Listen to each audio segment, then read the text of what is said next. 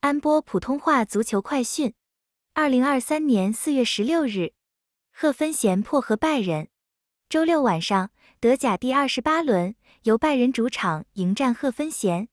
上半场，京士利高文助攻宾杰文博华特破门，沙治戈纳比远射造险。下半场，安祖尔卡拉玛丽罚球直接破门，宾杰文博华特攻入一球，但越位在先。最终，拜仁主场一比一战和贺芬咸。比赛开始五分钟，宾杰文博华特尝试一脚远射，皮球高出球门。十七分钟，拜仁右路角球开至禁区被解围出来，京士利高文接球后踢至禁区，宾杰文博华特停下皮球，近距离捅射得手，拜仁一比零领先赫芬咸。三十六分钟，沙治戈纳比禁区前沿晃开角度，起脚远射。皮球稍稍偏出球门，半场战罢，拜仁一比零领先赫芬咸。一边再战，四十七分钟，拜仁反击，汤马士没拿中路分球，京士利高文禁区内低射被欧鲍文扑出。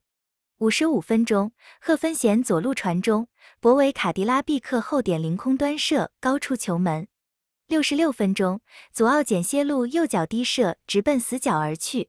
欧鲍文倒地，将球扑出底线。七十一分钟，赫芬贤获得前场位置极佳的罚球机会，安祖尔卡拉玛利操刀主罚，直接打门。恩苏马扑到皮球，但无能为力，皮球飞入球网。赫芬贤一比一败人。七十三分钟，扎姆梅斯亚拿禁区附近传至后点，马泰斯迪列至摆渡。宾杰文博华特铲射破门，不过宾杰文博华特处于越位位置，进球无效。八十四分钟，马蒂斯迪尔窄角度右脚抽射远角，欧鲍文再次做出精彩扑救。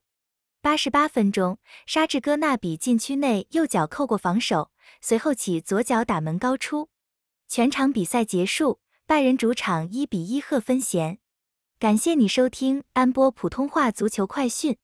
感谢你的支持，并订阅我们的频道。